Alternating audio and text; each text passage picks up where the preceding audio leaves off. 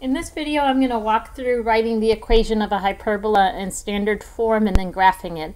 Um, I wanted to start with a quick explanation um, for the equations of hyperbolas in general.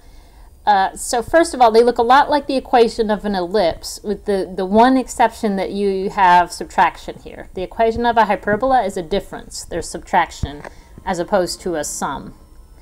Uh, now, one thing you have to look for when you graph a hyperbola is the positive term. If, if x is positive in the equation of the hyperbola, then it'll be oriented horizontally and the graph will look something like this. If the y term is positive, or if the y expression is positive, then it'll be oriented vertically and the graph will look something like this. So just be sure that you watch for that. All right, so here's the uh, actual example I wanted to work on. You're given this fairly ugly equation uh, to, and told that it's the equation of, of, a hyperbola, although we didn't really have to be told that. Um, but our task is to write it in standard form and then graph it. Uh, the reason we don't have to be told that it's hyper hyperbola, you can tell right here. Uh, when you have a difference with between the x, uh, the y squared and the x squared here, so we're subtracting, uh, then you know it's it's a hyperbola. If this were uh, a plus sign right here, then this would be the equation of an ellipse. And, and that's where you can tell right there with the whether you're adding or subtracting those squared terms. Okay, so now to put it in standard form, and I had the standard form on the, the previous slide. Uh, since the y term is positive, so I'll copy the um, standard form that we're looking for in this case would be y minus k squared. The positive term will go first over some constant minus a perfect square um, in the x expression over some constant equals 1. So that, oops, it's supposed to be squared. That's the uh, equation that we're, that we're looking for. The first thing that I would suggest is to group the uh, group the y terms in one parentheses so 4y squared, and then we've got the 24y. And group the x terms in another parentheses. Now be careful. Uh, I'm going to go ahead and put the negative outside. So remember, that's going to change the sign on everything inside. So where I had negative x squared originally, because of that negative out front, I'm going to write just positive x squared here. And where I had plus 4x originally, because the negative is going to change the sign out here, I want to write minus 4x. And then uh, the one last thing is move the constant to the other side. So this is equal to negative 16. Um, you can always double check if you're not feeling great about the negative 4x. Double check it by distributing the negative. So if I distribute, I have negative x squared, which is good, and positive 4x, which is what I want. So this looks good. Now we need to complete the square in each of these groups. First of all, in this uh, y group, you when you complete the square, you need to start with just a plain old y squared in front and not, not 4y squared.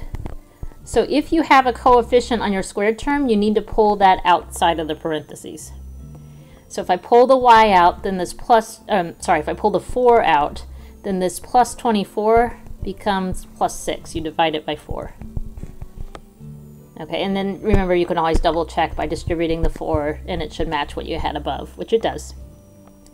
Um, I'm going to leave a space now for the magic number that completes the square, so we'll find that in a second. And then move on to the x group here. So it's just plain old x squared in front in that x expression, so that's fine. We don't have to pull anything out in front of the parentheses since we already pulled out the negative.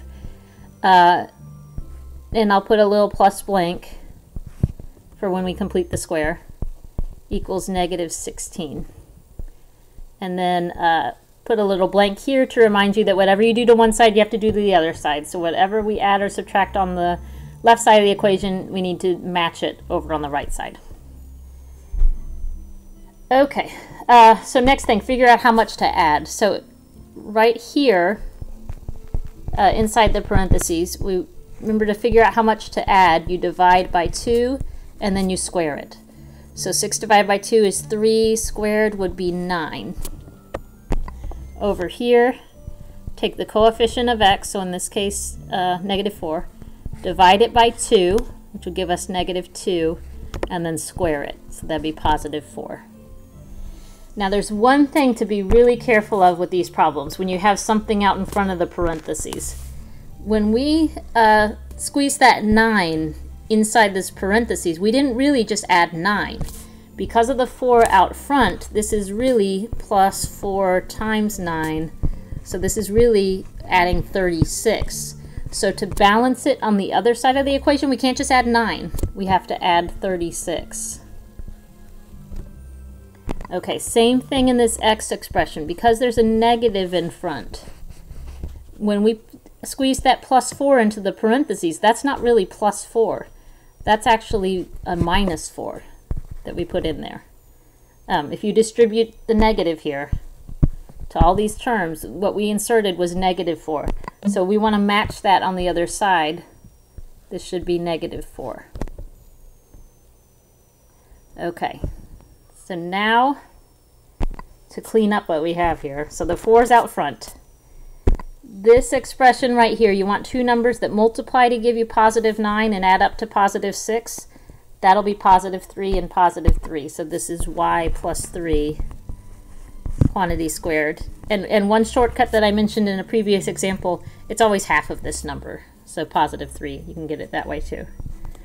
Uh, minus Okay, two numbers that multiply to give you positive 4 and add up to negative 4, that would be negative 2 and negative 2. So x minus 2 squared. And here again, it's half of that number.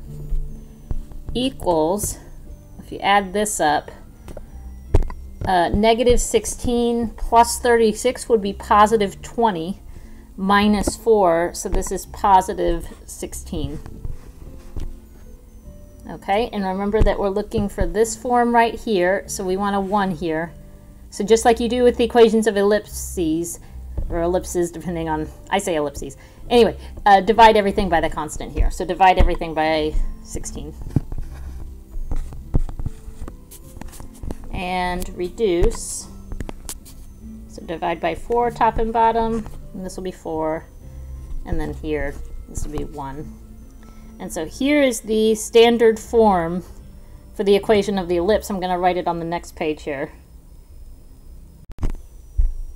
Okay, so our standard form is y plus 3 squared over 4 minus x minus 2 squared over 16 equals 1.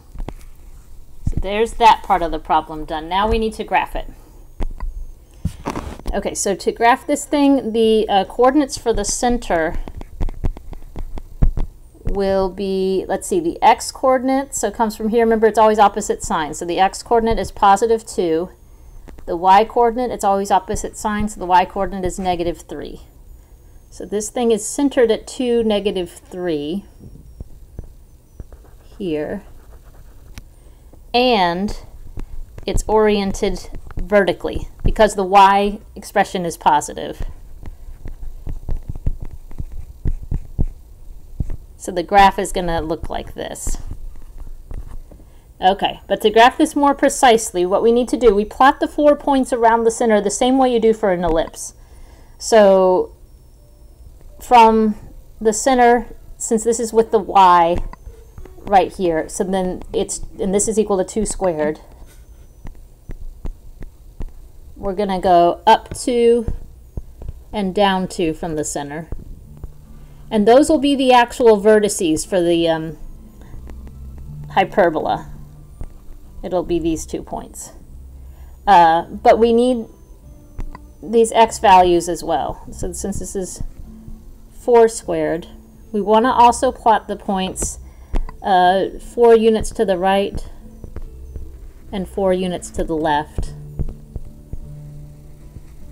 And now we draw a box around those four points or we draw a box around the center going through those four points. And then you draw the diagonals of that box as dotted lines. These are sort of like asymptotes for the graph, or they're going to guide the shape of the graph.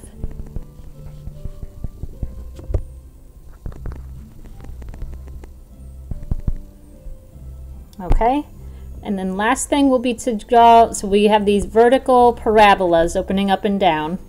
They're gonna sort of follow those diagonals of the box. So it's gonna go out this way, something like that, and go out this way. So the diagonals of that box, you, you wanna draw this box and draw the diagonals. That determines how wide or how narrow uh, these parabolas are. If we had a smaller movement, uh, you know, left and right, then you'd have a smaller box and the diagonals would have been a little, um, they would have given us a narrower frame. So you would have had a narrower uh, hyperbola. Okay, and then that graph in red is the graph of the hyperbola.